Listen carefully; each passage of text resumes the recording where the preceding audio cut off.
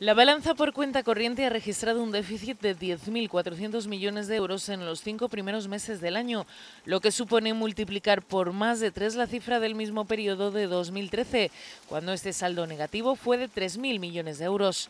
Esta evolución se debió a varios factores. En primer lugar, al déficit de la balanza comercial, que se situó en los cinco primeros meses en 7.600 millones de euros, más del doble que en el mismo periodo de 2013, debido a que las importaciones se incrementaron en mayor medida que las exportaciones.